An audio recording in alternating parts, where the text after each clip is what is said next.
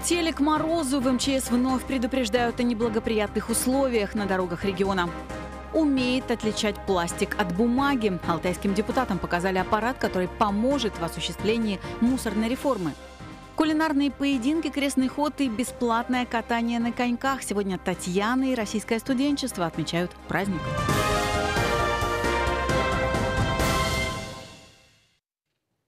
Наши новости начинают свою работу в эфире. В студии Татьяна Голубева. Здравствуйте. Сотрудники МЧС России по Алтайскому краю предупреждают жителей о неблагоприятных погодных условиях. На большей части региона снег, метель, на дорогах гололедица. Ветер западный, днем с порывами до 15-20 метров в секунду.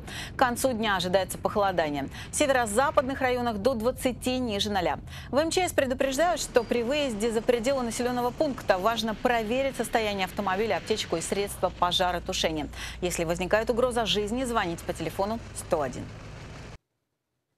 Сегодня в столице края проведут инспекцию на строительной площадке дома для работников социальной сферы. Здание начали возводить в конце 17-го и теперь подходит к завершающему этапу строительства.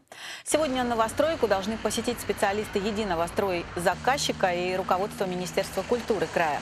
Сообщается, что сейчас строители завершают внутреннюю отделку комнат и ведут работы по благоустройству прилегающей территории. Закончить возведение многоквартирного дома согласно контракту должны уже до конца марта. Жить в доме доме будут сотрудники барнаульских театров, драматического, музыкального, кукольного, а также ряда музыкальных коллективов краевой столицы. В Алтайском крае представили новый отечественный аппарат для сортировки мусора. Он умеет отличать пластик от бумаги и способен перерабатывать несколько тонн твердых бытовых отходов в час. Накануне депутаты Краевого законодательного собрания оценили, насколько этот высокотехнологичный агрегат может помочь в реализации мусорной реформы. Они посетили барнаульское предприятие «Сесорт», одно из немногих в России, которое занимается производством фотосепараторов. Аппаратов, способных с помощью специальных оптических датчиков сортировать самые разные предметы предметы. От крупы до семян и даже минералов. Новые аппараты, разделяющие различные виды твердых бытовых отходов, начали разрабатывать еще до начала мусорной реформы. По словам разработчиков, он способен сортировать до 4 тонн одних только пластиковых бутылок в час. Кстати, примерно столько их обычно поступает на мусорный полигон в течение суток. Как убедились народные избранники, сейчас КРЭС обладает готовой технологией, которая поможет быстрее запустить будущие мусоперерабатывающие заводы принципе, сегодня наша мысль, вот в том числе и на предприятии, она технически готова. Поэтому мы сегодня готовы в Российской Федерации, у нас в Алтайском крае, изготовить целый комплекс э, э, машин. Сортировка, отметили депутаты, поможет в скором будущем перейти от захоронения к глубокой переработке ТБО. Подробнее о перспективной технологии и следующих шагах в реализации мусорной реформы смотрите в нашем вечернем выпуске.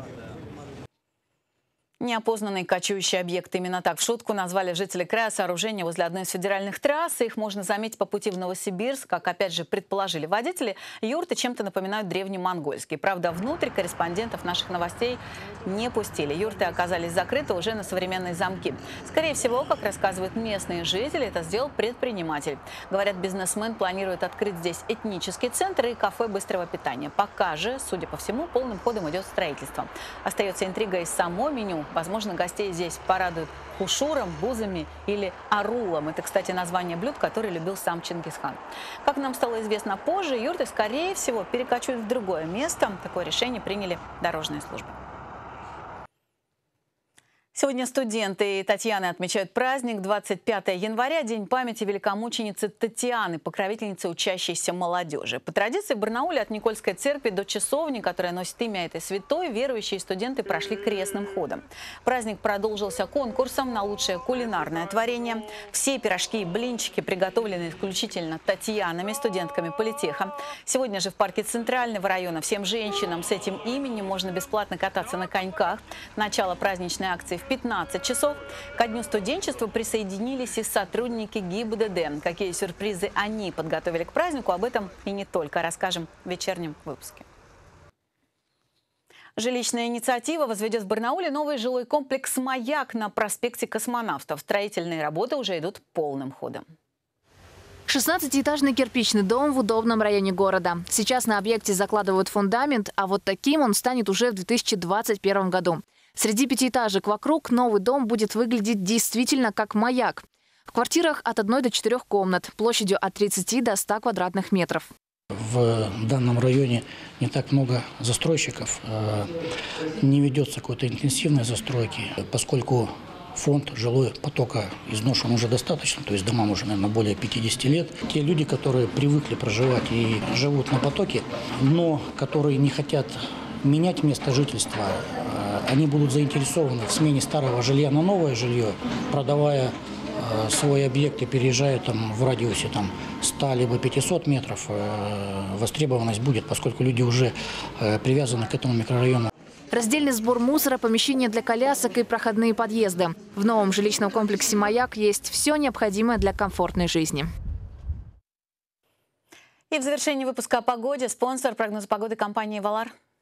А какой глицин принимаете вы? Принимайте глицин Форте Эвалар. Он отличается высоким содержанием глицина, усиленного витаминами для мозга. Качество гарантировано международным стандартом GMP. Глицин Форте Эвалар. Почувствуйте разницу. На территории края станет немного прохладнее. В Бийске и Рубцовске до 10 мороза, в Белокурихе до 9, в Барнауле днем пасмурно и без осадков и до 13 мороза. Напоминаю, телефон редакции Барнауля 722 440. Всех Татьяны студентов с праздником, а полная картина в нашем вечернем выпуске. До встречи.